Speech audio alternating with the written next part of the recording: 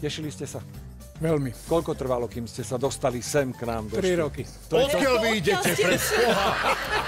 Išiel síce zo Slovenska, ale krížom, krážom. Toto Tak je preto, lebo vy ste aj trošku na svadbu oblečení, aj bunda všetko.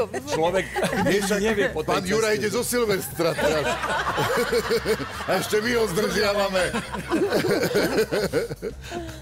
Ale tri roky je dobrá čakacia doba.